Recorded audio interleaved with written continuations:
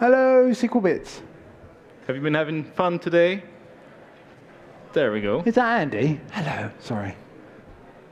I can just use this to say hello to people I know in the audience. Hello and welcome, everybody. So, Hello. So, we're uh, going to do uh, a session called Reporting on 1.4 billion rows with serverless SQL pools. But basically, we just use serverless SQL pools, and by, basically our life is pretty good right now because we, we don't really have to do anything. Serverless, everything takes care of itself. So I would say, let's play a video game. Oh, let's do. Play again. Space Invader is always fun. Oh, no. Oh, who's that? Oh, all right. Oh, hold on. So wait a minute. I've just got a call I need to take. It's the boss. Yeah. Boss, hello. We can't hear you. He, but he looks angry. He looks angry. He does look angry. Oh, damn, damn, damn. I, I think, think- we screwed up something. I think he's on the way. Yeah, yeah. All right. Okay. Well, It's- oh, no, he okay, looks- uh, he looks even He looks angrier even now. angrier. Okay. Just, just kill him. It- It'll, it'll come over. All right. Yeah. Oh dear. yeah, okay. okay. What, what's Uh, switch over to, to our slides.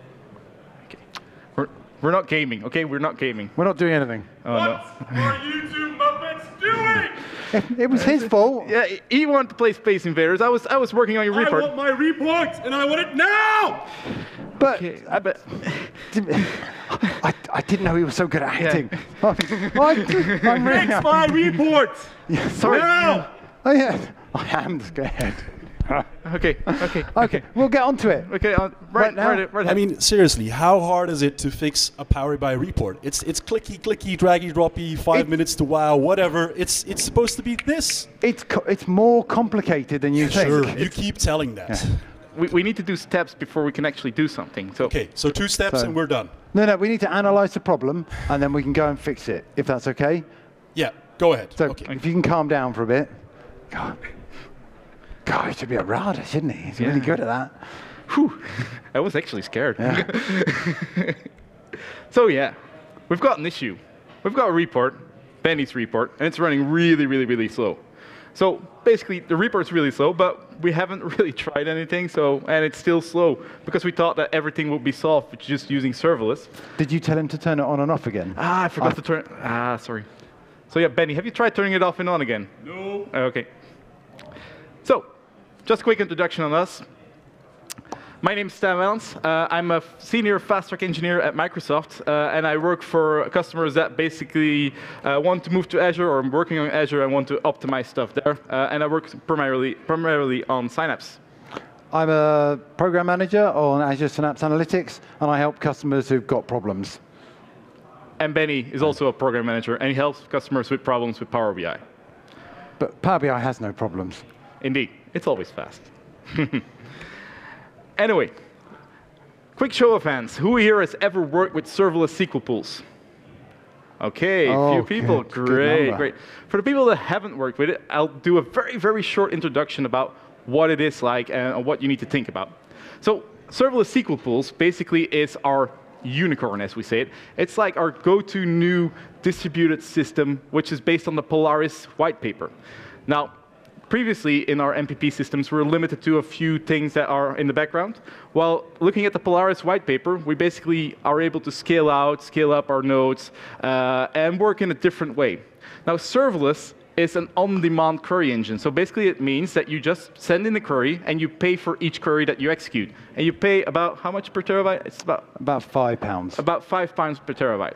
So basically what you want to do when you're using your serverless SQL pools is basically reduce the amount of data that you're reading. If you reduce the amount of data that you're reading, you will reduce your cost, but you will also see that you improve your performance. That's mainly the goal of today's session. We're going to walk you through all the optimization steps you can take using a very slow report and making it faster and faster and faster every step of the way and everything you change. If it's serverless, does that mean I don't have any servers? You don't really have a server, indeed. So I don't have to pay anything? You have to pay for your query. Okay, That's it. fine. It's basically an on-demand thing. Oh, okay, good. We have some nice visualizations. So Benny, you're paying for a server. so let's go and look at the original. So uh, the original report, let me just switch over to it for a second. It's over here. So the original report, uh, let me duplicate my screen. That's going to be better. Duplicate. Okay. So the original report, uh, that's the wrong report. The original report, uh, as you can see here, it's the slow report. If we look at the run times, we see that uh, this runs in about two minutes, uh, which is basically unacceptable if you're trying to run something you want this to run like this. People don't like to wait. Um, now, if we look at what it's built on, it's basically built on a file set you can see over here, which is just a bunch of CSV files without any structure in it. So it's just about, uh, I think, 150 gigs, 180 gigs of Yeah, data, yeah. something like that. So um, if we look at um, what we do, is basically if we're using CSV, any calculation or anything that we're doing will scan that full list, all those CSVs, which means we read loads of data to get those calculations. It is quite fast because it is on a vast amount of data, but we're quite fast even with CSV. Um, you can use this, for example, to import or direct query, uh, but it will be slower because the volume is quite large. You can optimize that by actually adding statistics or partitioning to those CSV files, uh, but those are only basically the two things you can do. Now, Yeah, okay. So hands up who's using CSVs. With a, there were loads of hands for serverless, but only a few. Okay, very interesting. Let's switch over. So, so one of the one of the most important or the most significant things about CSVs is there's no data typing. You know, it's just stuff. How does the engine know about stuff? You know, that thing in that file could be an int, could be a varchar, it could be a decimal, could be absolutely anything. So the people who have been, the PG, who've been working on power on, on serverless, have built us something called Parser version 2.0, and that works, tries to work out what the data types could be. So if I just run that, there's no data typing, but Parser 2.0 adds data typing. So how do we know it's doing it? Because when I look at it in the query output,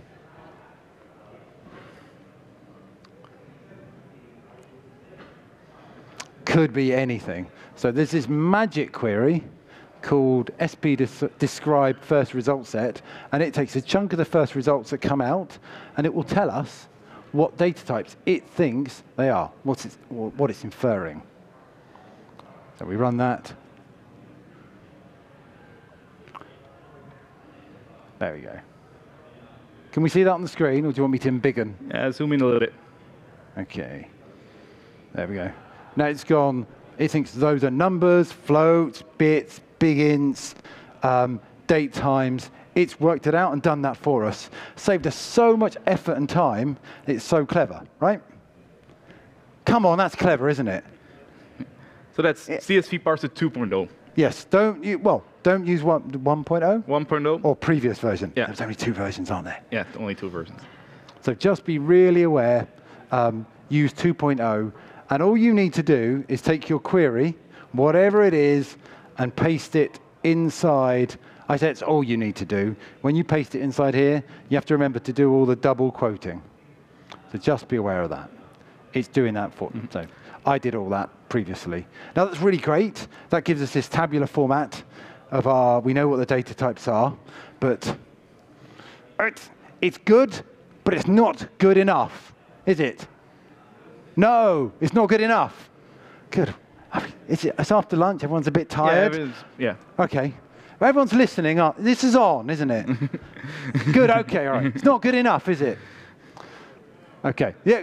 Well There we done. go. Well done, thank you. Okay. So if I create a view, just simply just put create view on top, and I'm just doing, in fact, the same, I'm just every single file in there. If I look at the metadata, So we just created the view. We haven't specified anything. We create the view with CSV parser 2.0. That's it. I can look at the metadata and, the, and it's in here, but because it's in a DMV, um, every time you use that view, it's now using the right data types for us, automagically, which is my favorite word of the last 17 years. Um, that's amazing, isn't it? That's amazing. That's amazing, isn't Yeah. it? Just out of the box. They've all fallen asleep in the last three seconds. I haven't done anything, and it's worked out through that CSV what it is. That's even better than Excel. All right. Okay. That, that's it. It? That's it. Okay, let's I mean- switch back over to the slides. So, um, just to show you also the volume of data that you're reading, so let me head over to the workspace here for a second and uh, ignore this. Go to the monitor tab. And Oh, Did you want me to show that? no, no, no. Alright. So basically, what you see here is the amount of data that we're reading here for those CSV files is 1.144 gigabytes. So looking at you pay per terabyte, this is still quite of an expensive query. So if they have to run this report, like let's say 100 times a day, that's uh, still it's still very cost effective, yeah? cost, effi- cost efficient, Yeah. cost efficient. But it's still a lot of data that we're reading, and we know that if we reduce that, we're going to be faster. Now, if we look at timings, so basically uh, we come from two minutes. Okay? So what can we do to optimize? Anybody have an idea? What would be the first step? What would you think about? What should you do? Yes? Delete all the data. Perfect. It will be really fast. Yes. Out, out. if, you, if, you, if, you do that again, we'll get security. Parquet files. Who knows what a Parquet file is? Do you oh, know? look, they're, look, they respond to you. Yeah. They like you. Yeah, they don't like you. No. Anyway, so you can see we're fighting our dragon and we're starting optimizing. So what we're going to do is we're going to turn those CSVs into Parquet files. Now, how do you turn CSVs into Parquet files? There are multiple, way, multiple ways of doing this. Like if we look, just look up serverless, you can do a CETAS, so create external table as a select from those open set queries you saw before, and basically push it into a new folder, and it creates your result set in Parquet, uh, if you specify it's Parquet. Uh, you can do it in Spark. You can do it with mapping data flows, or you can even do it with a copy data task. I would not suggest doing it with a copy data task because it, it doesn't do everything correctly because it doesn't create any statistics on the Parquet files and all those things. Now, what is a Parquet file? A Parquet file basically is columnar storage. If you know column store, you basically have your segments. You don't store row by row, you store by column, and you basically have something on, on the top level, which is dictionary, where you store your unique values, and then uh, it basically compresses your data really well. So basically what we say is we just take that data that we have in CSVs and compress it completely, which will increase our speed. Why? Because we read less data. Reading less data is less cost, means faster queries. Um, a Parquet file also contains metadata about files. So it knows what type of data is in those files, so it can also only read parts of your files. If you specify certain um, columns that you're reading, it's going to skip those columns. If you specify certain filter clauses, it can also filter on the row groups that are in there. It's built out of row groups and column chunks, and basically serverless can eliminate those. Now, if you look at a Parquet file, a Parquet file has is built, yes? Did you say the copy task in Data Factory does not It creates a Parquet file, but um, Do you want to a- repeat the question back? uh, Yeah, um, if a, a copy data task in Parquet doesn't do exactly the same, so if you do a Spark or mapping data flows or anything or CETAS, it does create uh, an extra layer which is the statistics on those Parquet files. They don't get created with copy data task. That's the difference. Now, uh, a Parquet file is built out of three parts. A header part, the data body, and the footer. The header basically is just par one. This, the, this, the file starts par one, and we know that it's uh, a Parquet file. All the way at the end, there's par one again, and then there's an offset which basically tells you this is the amount of data, uh, this is the amount of metadata I have. And then what we do basically with service, we read that metadata, so we, we do a, a seek to the end of the file. We get that final part, and we basically look at what does the data look like and what do we need to read from this file. Now that file is then split up into different things. So you've got multiple data blocks. Those data blocks are uh, with multiple row groups, and they have column chunks. So a column chunk basically means for one column. Let's say the first column are uh, car types. Um, you can have columnar chunk one. If you just select the car types, you're only going to read this part of the data. If you have a where clause, for example, uh, and you know in this one we've got the BMWs, in this one we've got Ferrari, and we say, okay, uh, I only want BMWs, we're only going to read this specific chunk. Okay, so that's basically how serverless will interact with your Parquet files. So let's show you that. Um, basically, I'm going to start the report in the background because it still takes some time to execute. Um, so let me clear, refresh visuals. So it's starting. Um, now, if we go and look at the data that we created, I, that's your demo, right? Or is it my demo? Uh, you got all string Uh, data yeah, types. yeah, yeah. Okay, so let's switch over to yours. So Stijn's created a set of files. He's taken those CSV files and he's converted them to Parquet for me. So Parquet is the best format in the world, isn't it? they they don't not- respond I to know. you. what is it? You have to raise your hand and just say, Everybody raise your hand if it's the best format in the world. Yay. Okay, all right. So we're going to show you. No, there's a. All right, let's. Back to, uh, we're on my screen. Perfect. Okay. So we've seen this query before. I'm just selecting from a single Parquet file. We don't need to co- cover that. Yeah. And we've seen describe first results there. And I'm going to run this. Parquet has metadata, has data types, has chunky bits in it. Yeah. It's compressed, so it's smaller. So. Oh. Wait a minute. Wait. What's that? th- You lied to me. Why is that happening? Anyone has an idea? It's not replying to you now because it's a hard question. Remember, we're coming from CSV files, and we haven't specified anything speci- specific. So those CSV files that we're coming from, as such, didn't have any data types. So those data types, Well, data types are the most important thing in the world, but apart Yeah. from them, the most important thing in the world. So when you did the conversion, you did that in Spark. in Spark, Yeah, and I just didn't specify any data types. So you have to make sure that you build that metadata in and set those correct data types right. in your loading process. Now, what I can do is I, if I do the same thing again, that's exactly the same, and I can look at the data types, but I can also be very explicit and put them in. So using the open row set, I'm just going to get the top of it so it looks slightly better. Going to get rid of this. So if, and this will work for CSV, if you're not using Parser 2.0, you can specify the data types. Now, this is obviously a real pain, and you know, don't do this. Don't, don't do it. This is bad. Bad, bad, naughty, Stijn. Indeed. Okay. You basically want to fix this on the beforehand. Because if it's going to pick up, like everything is varchar 8000, what could possibly go wrong in the system if I've got, oh, what's that, 20 rows, 20 times 8000? Um, it's going to need a lot of RAM. Yeah. It's going to need a lot of CPU. It's just going to be poor. It's going to be poor And, performance. and poor Benny is going to cry because it's going to have to read, even though it's compressed, um, the compression is going to be poor Yep. because it just can't. It just doesn't know. It hasn't got Yeah. the best information. You are you are letting the Parquet format down, and everyone else you work with if you do that. So just you know, Make sure you have those data types in, when you're loading that data. If you're using CETAS or if you're using um, Spark or mapping data flows, make sure you set those data types right. Okay. cool. Good. Let's Yeah. switch over to the results because those are, those are done. So um, previously we were at one minute, tw- uh, two minutes and 10 seconds.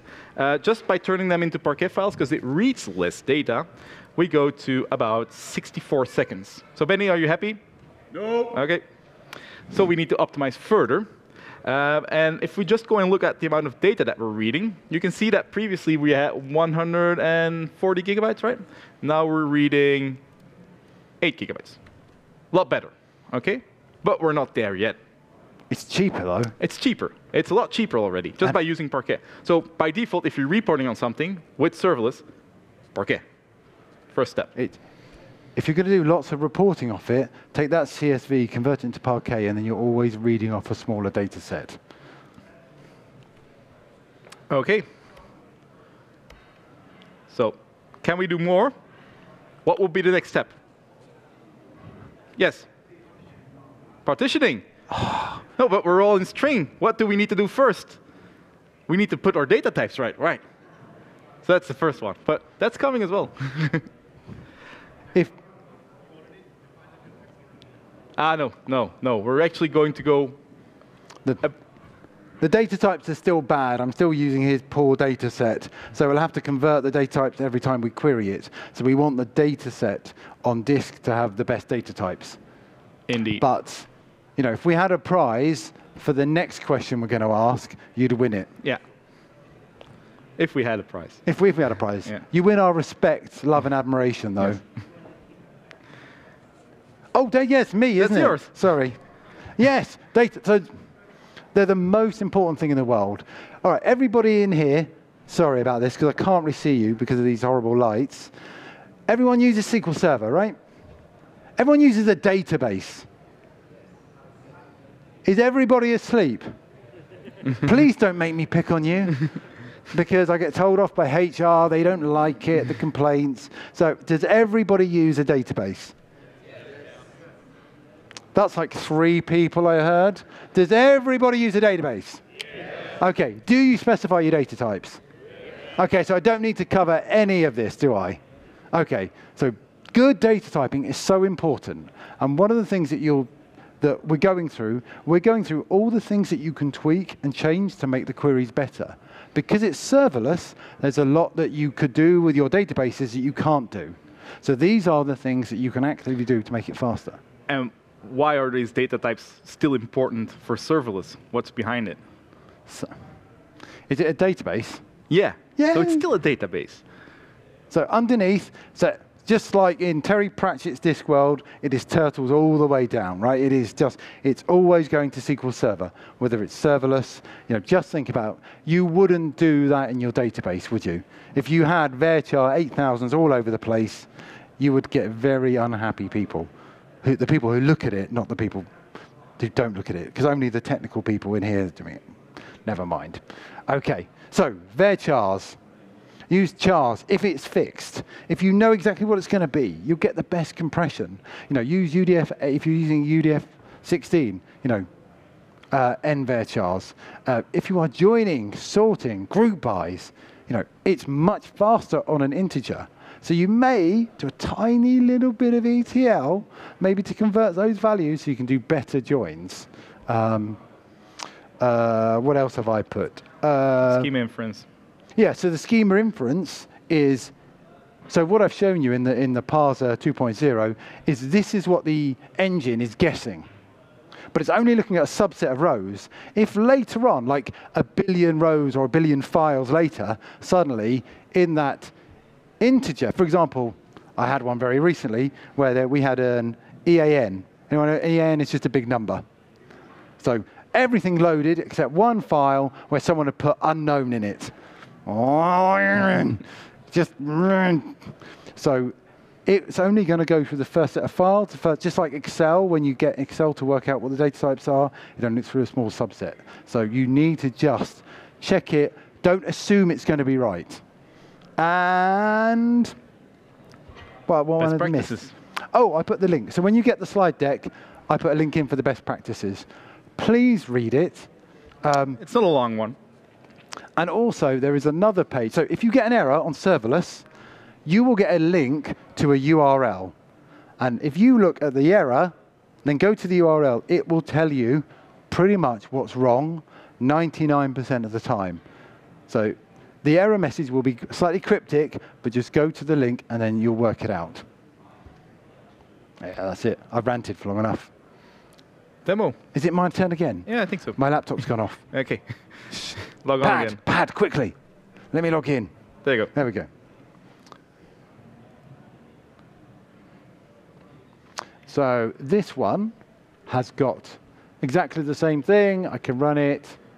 Um, this is one where you have This is with the data type. So I had my ETL guys do this, and uh, we basically now have the right data types when we loaded that data. So those. Parquet files now basically have, this, have the right metadata. there we go. And I'll show you the metadata in a bit so you can see how you can analyze. If you have those Parquet files, how can you analyze on the beforehand if they're correct or not? And I'll show you that in a bit. Look, and then you'll see. What I didn't do was absolutely double check um, how they how these mapped across to the inference from because these are actually slightly different than Yeah. the, when we use the parser 2.0 and then you compare it with these data types they are very slightly different. Because these are coming from Parquet and the other ones are coming from SQL. And in Parquet, it's what we defined for it. While the other one makes a guess on what we're doing. Cool. And then So- really, the Okay. others are all the same, yeah. then we go and look at one specific file. So, um, does any of you know a bit of Spark? Yeah.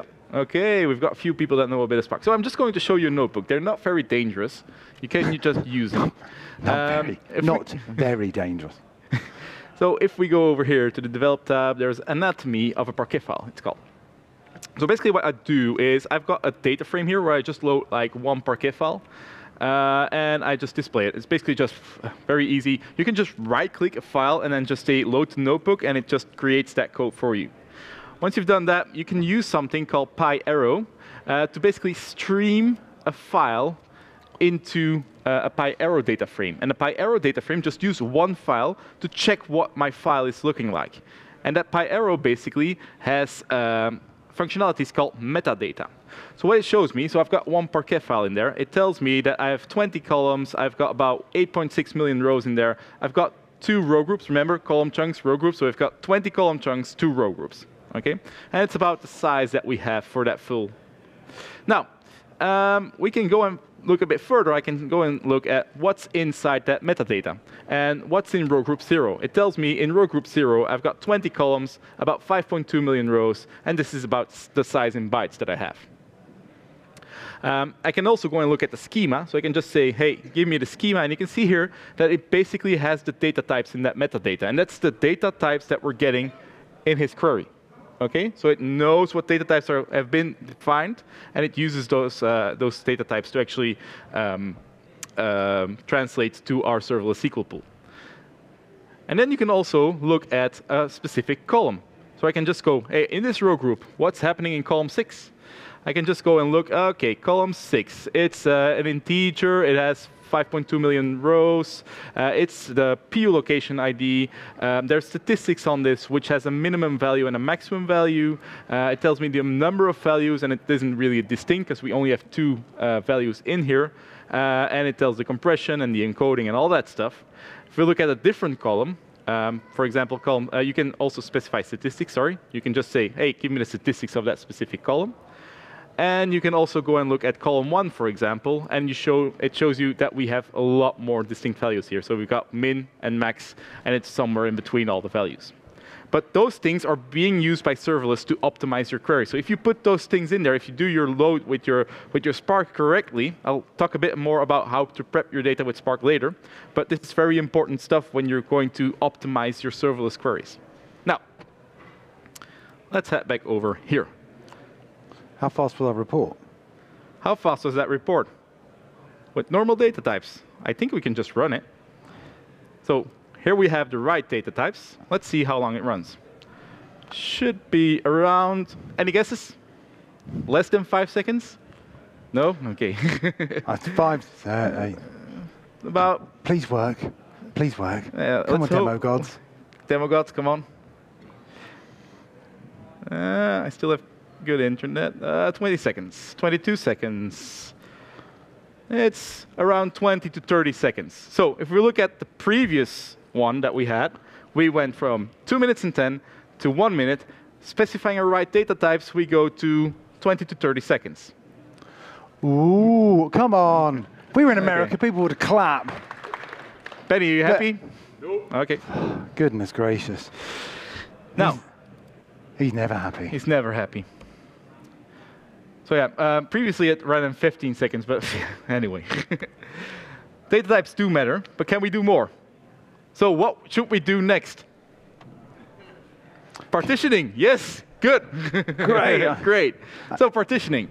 So partitioning basically means that we're going to partition our files, our Parquet files, and we're basically going to define multiple folder structures underneath, um, where we're going to say, okay, we're just going to select data from this year. Uh, so we can have uh, partition by date or partition by a certain column value, and then you basically say, um, I'm not going to read a part of it.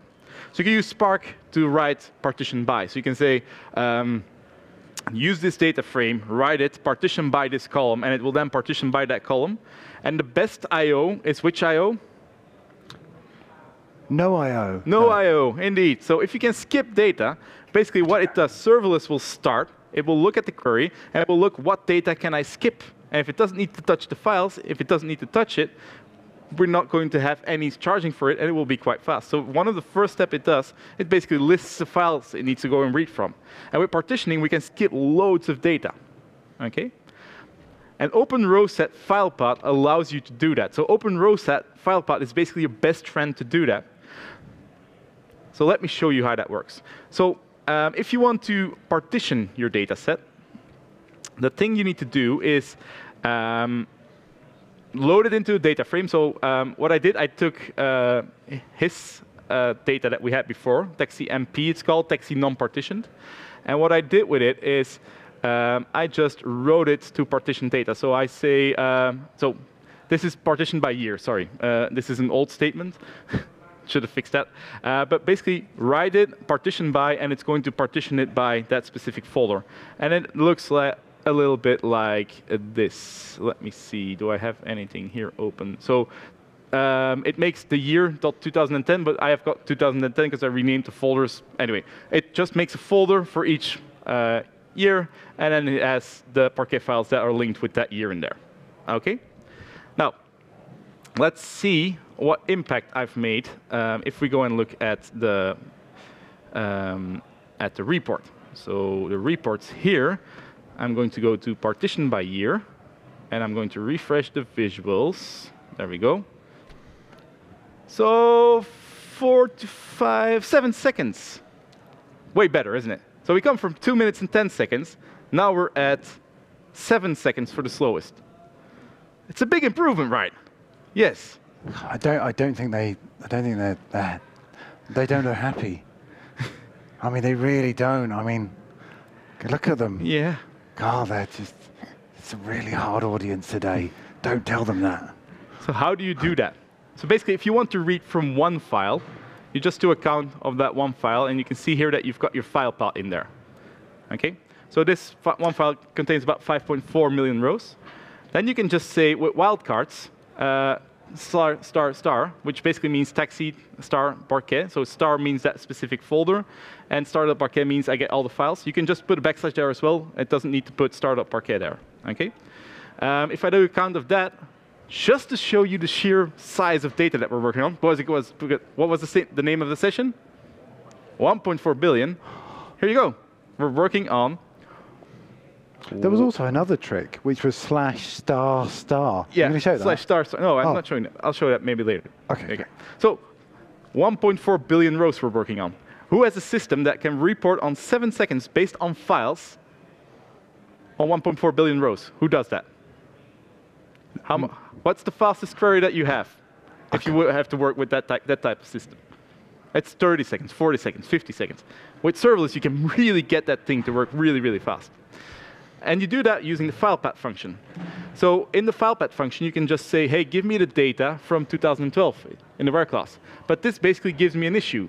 I cannot specify r.filepath everywhere. But what I can do is I can use that r.filepath and create a view out of it. And just say, add that file path as a column. And if I then put it in the where clause, or if I just in Power BI click, I want this here, it will skip all the other folders and just read that one folder.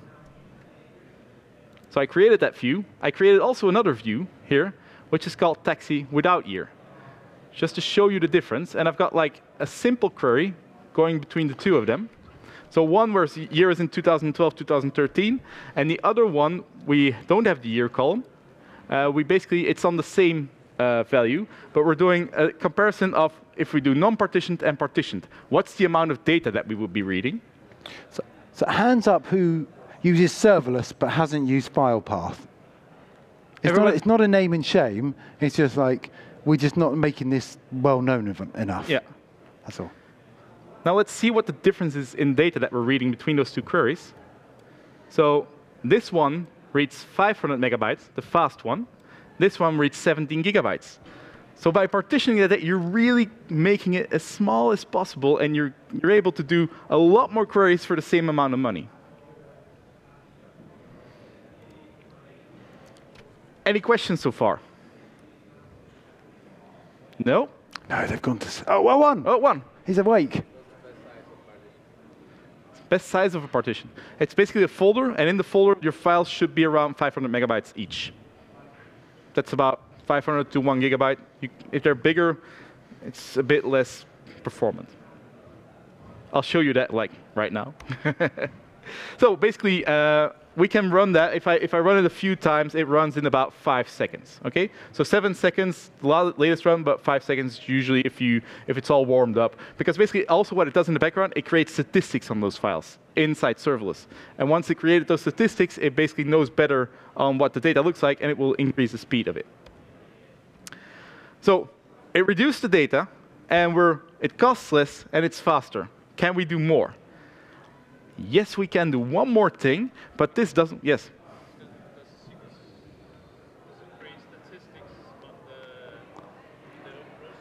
So basically, you create sort of a, um, a view or an open row set, indeed, and it goes and knows statistics about the files that you're specifying. So those files will get a statistic created on it. You'll see, like, if you're running queries, at the first time you'll see global stats creation, and it creates stats on that data. So you sometimes notice a performance impact the first time you do Yeah. that query over that file. So that might be that the first time it runs in 20 seconds, and all the later, later results will be seven seconds, five seconds, because the first time it creates statistics on those. Yes. Uh, Huh. statistics persisted if you sort of pause the serverless? They are persisted. Yes, they're in the. Uh, so are they persisted if you pause the, the serverless? It's an on-demand query. You can't pause it, but The concept, the concept of pausing, Yeah. there's no servers. It's serverless. yeah, So they're stored on storage. Yeah. It's a simple answer, but but just Yeah. there's there's no pausing. It's not dedicated pool. You run it, it provisions it for you. You don't use it for a few minutes, yeah, and then it will just disappear into the ether. You're not paying for the existence of the CPU. You're only ever paying for the query, the actual data that is transferred. So the, do you want to? We're running out of time. okay.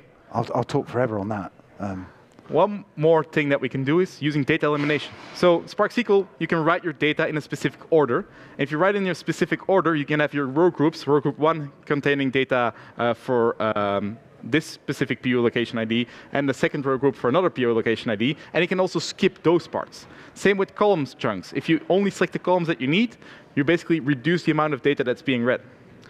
And again, open row set file path is your best friend because we've got the partitioning on there as well. Now, very quickly showing you that before we go to the final part. Um, if we go and look at the sorted parquet here, um, again, PyArrow, shown you before. Um, we can go and look at a specific column here. So row group 0, column 6, this is a specific file I'm looking at.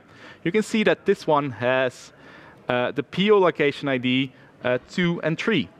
While if we look at the second row group, so row group 1 over here, this one only contains value 3. So if we basically if we query where PO location ID equals 2, we read less data. So how does that look? If we go and query that, um, segment elimination over here. So here you see 2 and 3. Okay, so we've got our 3 and we've got our 2. And you run that. What you'll see in the messages that I have a total amount with a capital A, which is not with a capital A here. There we go.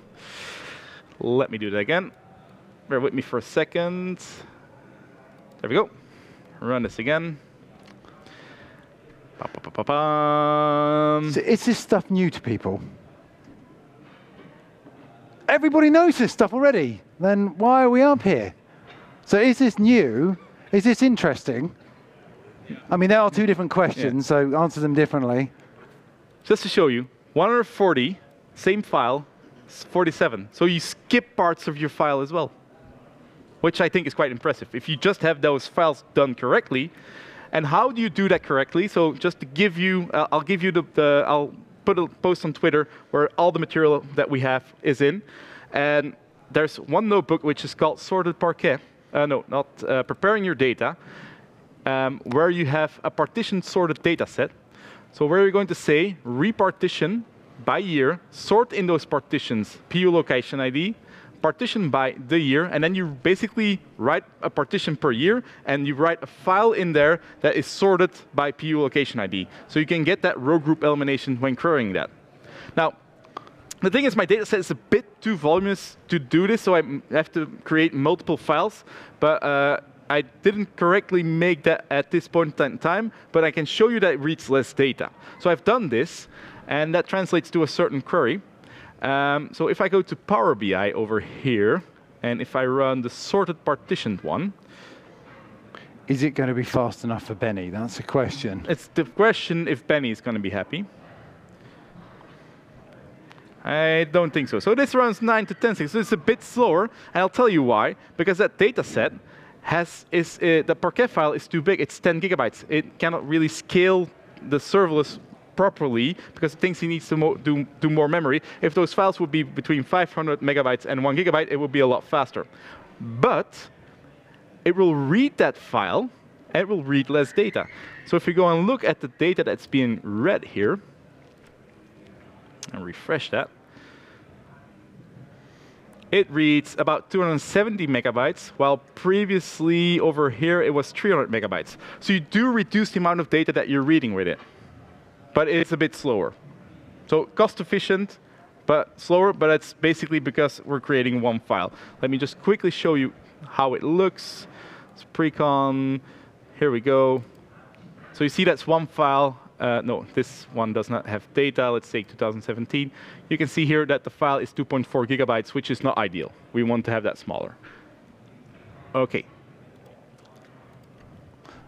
So is that really fast enough for Benny? Is it fast enough for you, Benny? I mean, Anyway, we are happy because we did all we could. We reduced that from 2 minutes and 10 seconds to about 5 seconds, the fastest with partitioning. Let's say 7 seconds. Previously it was 5 seconds. We are happy. so yeah, and I Yeah. think they, I mean, they all look absolutely miserable. But, Yeah. but is Benny happy? I mean, that's really the key. Our dragon returns.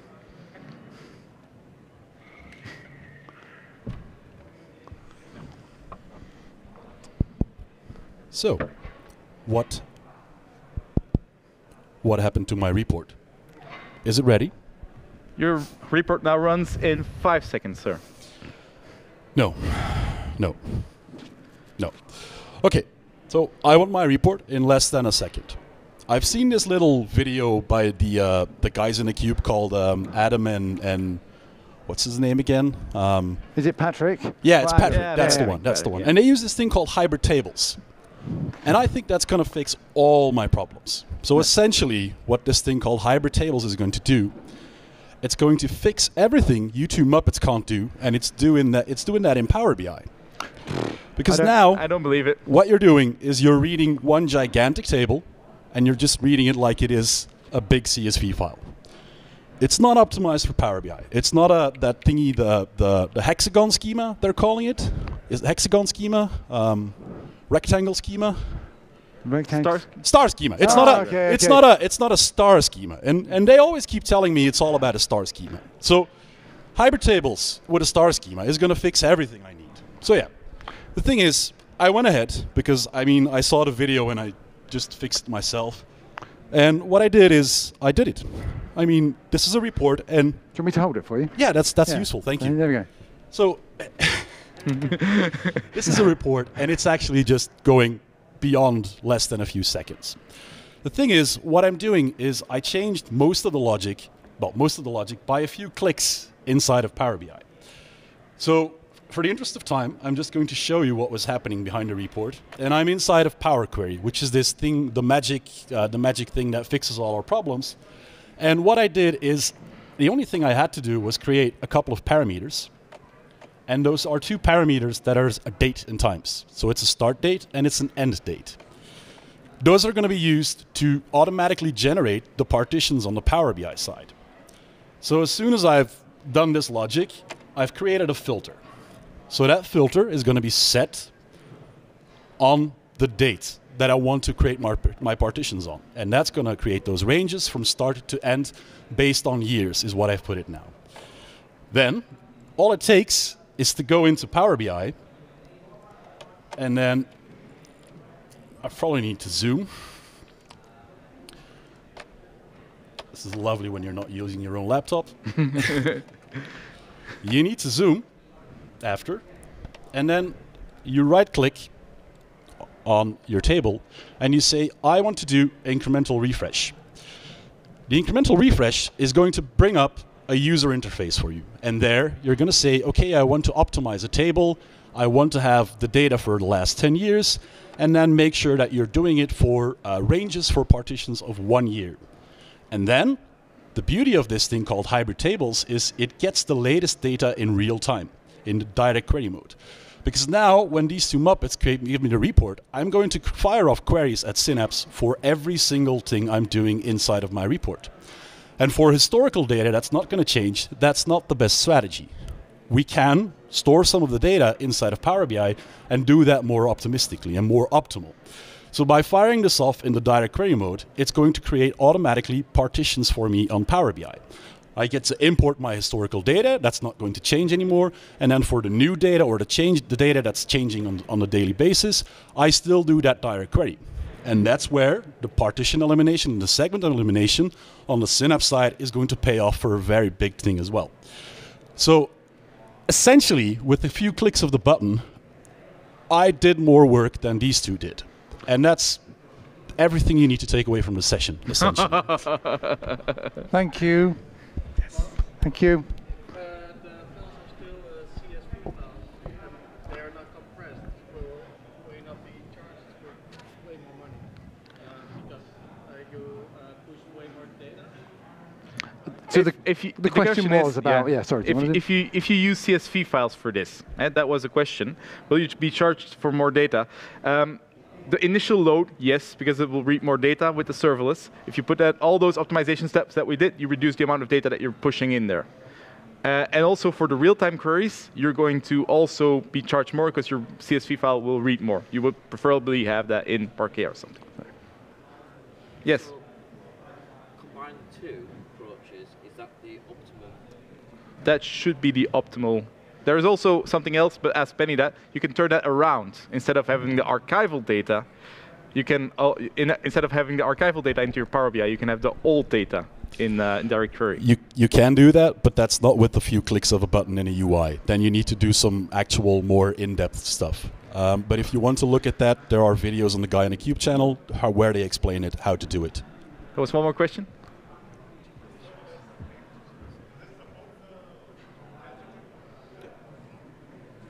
Is- Can you- can you- is- was that the serverless support delta table? Yeah.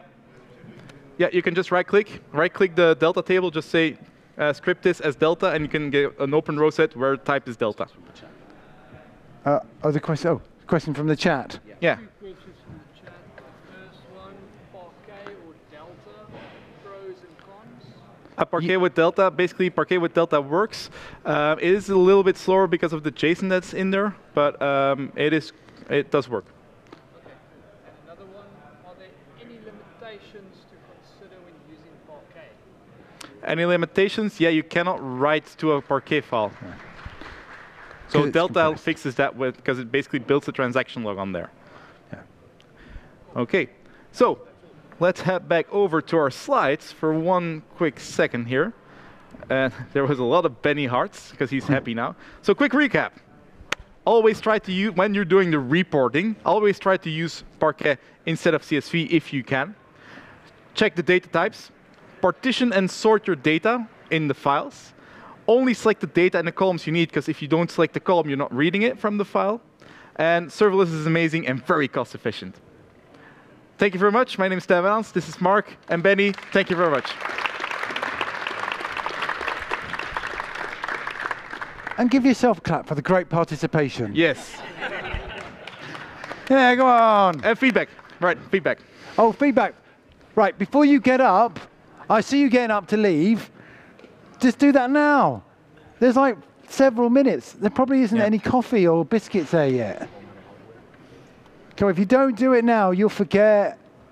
You know, life gets in the way. So just do. Look, people have left. Um, oh, come back. So- We'll be around the whole week. Uh, Yeah. until Saturday evening. So if you have any questions or you want to know a bit more about serverless, things that we didn't handle now, You come over to us. We can basically help you and You get were it fixed. so scary. I, I was not expecting that. Do you like it? Okay, nice.